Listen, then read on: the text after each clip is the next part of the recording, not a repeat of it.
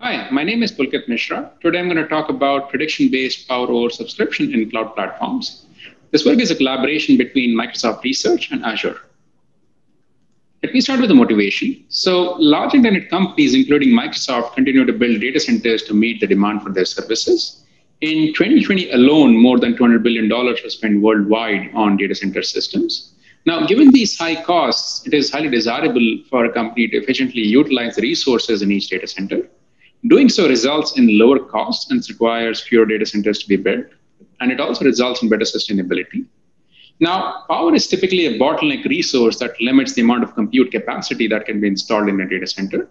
However, uh, many large internet companies have found that there is a massive power underutilization in their data centers because the power provisioning for servers happens based on the peak demand. But in practice, these servers very rarely consume their peak power simultaneously. To address this underutilization, uh, companies have used power capping and oversubscription successfully, where the idea is to harvest the unutilized power for adding more servers. Doing so may result in a peak power demand across the servers to be greater than the available power inside a data center, and therefore power capping is used for safety. Uh, under power emergencies to cap the power draw of server, typically hardware-based capping mechanisms are used that throttle the entire CPU by reducing the frequency of all the cores equally, and to throttle also throttle the memory if needed to honor the power limit for the server. Now, because throttling impacts performance, uh, companies typically profile the impact of capping on their workloads to carefully trade off between performance and the power that can be harvested towards oversubscription. The graph on the right shows an, shows an example of such an analysis, where as the graph shows, for this particular workload, we can harvest 15% power uh, under power emergencies by setting a power limit that is 85% of the provisioned power, while providing uh, similar performance for this workload as the uncapped case. Now, such a recipe for power capping in oversubscription works well when the workloads and their placements are known, but public cloud platforms have many uh, challenges that limit such forms of oversubscription. Uh, for example, one, the workloads running on virtual machines on cloud platforms are opaque. The provider does not know which virtual machines are running performance critical workloads. Second, platforms have very dynamic environment where VM arrivals and departures happen all the time, and it prevents any predefined groupings of servers where the idea would be that under power emergencies, we harvest power from servers that are running non-critical workloads while protecting the performance on the servers that are running the critical workloads. And finally, uh, there might be multiple VMs with differing performance requirements that might be running on each server. And in such cases, the typical full server throttling mechanisms that are used would impact the performance of the critical VMs as well. Now, for these reasons, uh, the power over subscription on public cloud platforms has been limited uh, because the providers want to uh, mitigate or completely eliminate the performance impact of capping on the critical workloads. To address this uh, problem, our solution is to use fine-grained power capping for oversubscription, where the insights that we have are first, not all VMs that run on public cloud platforms are performance critical. For example, uh, providers have VMs that run non-production workloads, which could be throttled under power emergencies. Similarly, there might be production VMs that run batch workloads. And if we had the ability to identify the performance criticality of such opaque VMs, then we could use fine-grained power management techniques that are available on most modern processors like uh, per-core dynamic voltage and frequency scaling for throttling specific VMs. This forms the basis for our solution, which is criticality aware per VM power capping in oversubscription, where the idea is to provide power safety by throttling the non-critical VMs while protecting the performance of the critical VMs. And it forms the basis for our strategy for criticality aware oversubscription as well. Let me start by giving you a high-level overview of per VM power capping, and then I'll describe about how we address some of the challenges that I talked about uh, that limit the oversubscription currently for cloud platforms. So say we have a data center with some number of chassis, where each chassis has a chassis manager and some number of servers. Although I show chassis as an aggregation here, we could have different aggregation in a data center as well, for example, racks. Next, we have an ML system in a data center uh, that provides predictions that can be used for optimizing different aspects uh, in a data center. Uh, this system is called Resource Central for Azure. And to Resource Central, we add algorithms and models to predict a VM's performance criticality. and its resource demand. For example, its P95 uh, CPU utilization. This resource demand is what we treat as a proxy for a VM's power demand. Next, we have a VM scheduler, which is Protean for Azure. The scheduler is responsible for placing uh, VMs onto servers with the goal of uh, making sure that uh, the VM receives the resources that it wants in terms of number of cores, memory, and so on, while also trying to tightly pack these VMs onto servers so that fragmentation is reduced. To, to the scheduler, we add rules for distributing power via the criticality and utilization predictions that we get from resource central at the time of VM placement. It works in the following way, where at the time of placement, we get these predictions for each VM, and then try to balance the server power between critical and non-critical VMs, as shown in the figure on the right. Although not shown in the figure, we also try to balance the power between the different chassis so as to reduce hotspots. Now, how this is useful is when we do need to cap the power draw of the server, which, for example, would happen when the chassis power draw goes above the limit, then on each server, we would use uh, per VM power capping, which understands the criticality of the VMs that are running on the server and throttle the non-critical VMs only for power safety, while protecting the performance of the critical VMs. Now, a combination of the ML models, the enhanced VM placement, and per VM power capping can increase oversubscription by 2x, as I'll describe in a subsequent slide. Let me start by describing how we handle challenge number one, which is inferring criticality of opaque VMs. Now, uh, we treat user-facing workloads as performance critical because, as the name suggests, there's typically a user interacting with these workloads, and any performance predictability leads to bad user experience. The user might go away, and this would lead to a revenue loss.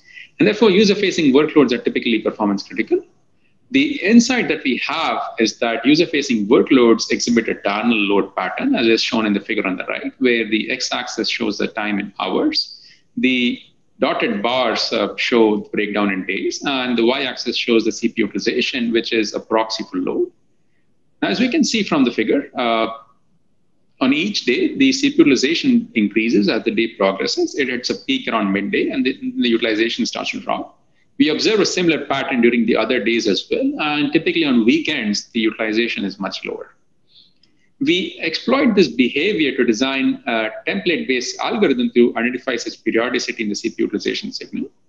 With this algorithm, we can say that if we find periodicity, then the workload is user-facing, and otherwise it's a non-user-facing workload. Now, this algorithm provides us the ability to tag already deployed VMs based on their observed CPU utilization. But as I described earlier, we still need predictions for our enhanced VM placements. Uh, to this end, we have developed an ML model to predict a VM criticality, uh, which is trained using the labels that we had, get from the algorithm. And through evaluation, we found that uh, our ML model has a 99% accuracy in identifying user-facing workloads, which is very important because we want to predict the performance of such workloads. And finally, to our system, we have also added static overrides, uh, which allow us to, for example, tag VMs as always throttleable. Uh, VMs that might fall into this category are VMs that we know are running internal non-production workloads. And similarly, we also have a do not throttle list of VMs. Uh, these are VMs that should never be throttled. And example uh, uh, for this category would be uh, all third-party VMs or VMs that we know are running gaming workloads and so on. Now, as the previous slide showed, we have the ability to uh, predict a VM's criticality at the time of deployment. Uh, we can place these VMs based on their criticality and utilization demand, and therefore balance the server power between critical and non-critical VMs. Therefore, when we do need to cap the power of a server under power emergencies, then we can rely on per VM power capping. Here I present how per VM power capping allows us to harvest additional power from a server where on the, the graph shows the results, where on the x-axis I show the power cap that we have set on the server in watts. And on the y-axis, I show the performance for the user-facing and non-user-facing workload, where the performance is normalized to the unconstrained case, where the workloads are running without any power cap being enforced. Now, the experiment is run in the following way, where uh, we set a power cap for the server and either use the full server throttling mechanism or per VM power capping for enforcing that power cap. Uh, now, there are a couple of takeaways from this graph. First, with VM power capping, we are able to harvest 30 additional watts from this server while providing the same performance as the full server throttling mechanism. However, this benefit comes at the cost of increased performance degradation for the non-user facing workload. But we think this, that this is an acceptable trade-off because uh, such workloads have less stringent performance requirements. And furthermore, uh, these workloads might be running on uh low priority VMs, or these might be internal non-production workloads, and therefore uh, the performance requirements are even less stringent. Now, as the previous slide showed, uh, with per VM power capping or differentiated capping, we're able to harvest additional power and this forms the basis for our strategy for oversubscription with per VM power capping, where the constraints for our strategy are we fix the number of capping events and the frequency reduction for the critical and non-critical VMs for each of the starting, uh, capping events. And then we use the historical draws to calculate the harvesting opportunity with per VM power capping while we are honoring the constraints that we have for our strategy. The table shows the results of our analysis, where in the traditional case where there is no oversubscription, we are not really harvesting any power. So there's no savings either. With the state-of-the-art approach with full server uh, throttling, we are able to harvest in Azure 6.2% power from our chassis, which translates to around $80 million in savings uh, per data center. But when we use uh, differentiated per VM capping, where we use predictions for our internal workloads uh, and mark them as either critical or non-critical, and also predictions for non-premium external VMs, where uh, these VMs are the ones that Azure advertises as really for dev and test, then we find that with our approach, we can harvest 6.1 additional power over state of the art for a total of 12.1% of power from chassis, which translates to around $155 million in savings. So as a result, sure, with per VM power capping, we can be selective. We can uh, throttle the non-performance critical VMs only for power safety while protecting the performance of the important ones. And also uh, increase the amount of oversubscription for public cloud platforms by 2x. And let me describe some of the production impact our work has had and the lessons that we learned. So our per VM capping system and the ML models uh, that I described have been deployed across thousands of servers in many Azure data centers we find that uh, they significantly reduce the throttling for critical VMs when compared to the full server throttling mechanisms that Azure was using earlier. We are still working on deploying our VM placement policy, and then we'll work on uh, the more aggressive oversubscription strategy that I described in this talk. Uh, we learned many lessons during this work. Uh, we described them in the paper, and I'll talk about a few of them here. One, we worked on uh, refreshing VM criticality predictions in servers. Now, because we rely on predictions uh, for a VM workload performance criticality, and there might be mispredictions. So we added a feedback mechanism to correct such mispredictions based on the ground truth data, where uh, we observe the CPU utilization patterns of already deployed VMs using the algorithm and correct any mispredictions that might happen so that any performance critical VM is not throttled incorrectly because it was mispredicted as non-performance critical.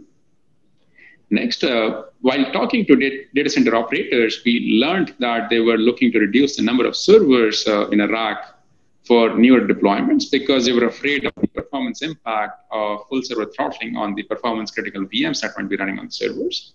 We described to them our per VM uh, power capping work, and now they're going back to the same number of servers in rack. Now, we typically think of oversubscription as adding more racks inside a data center, but this is really another form of oversubscription where we are adding more servers in a rack and tolerating that additional power consumption using per VM power capping for power safety. Uh, finally, uh, during the course of the work, we realized that the power monitoring and management capabilities that hardware vendors provide today are not really suitable for public cloud platforms. Uh, to address this, we are working with the vendors to design better abstractions, for example, at per VM level uh, on, on future SOCs. Uh, and this would really enable us to design more, uh, this opens up really more exciting, exciting scenarios. For example, uh, the ability to uh, monitor a power at a VM level would allow us to, to have power aware VM allocation, enforce a power limit on VMs, make throttling and killing decisions based on a VM's power consumption, and also export a VM's power and energy consumption values to the customers because of the enhanced focus on sustainability these days. To conclude, I talked about uh, limited power oversubscription on cloud platform because providers want to restrict the performance impact of power capping on the critical workloads. Our solution to address this problem is prediction-based per VM power capping, where we design algorithms and models to predict a VM's uh, performance criticality and utilization demands.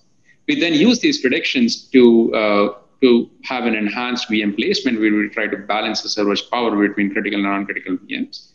And under power emergencies, we use a per VM power capping system that understands the VM's criticality and throttles the non-critical VMs only for power safety. And then we describe, uh, we uh, design a strategy for criticality aware oversubscription that allows us to increase oversubscription for cloud platforms by 2x while protecting the performance of the critical workloads. With this, I would like to end my talk, and I'm looking forward to uh, hearing your questions during the session.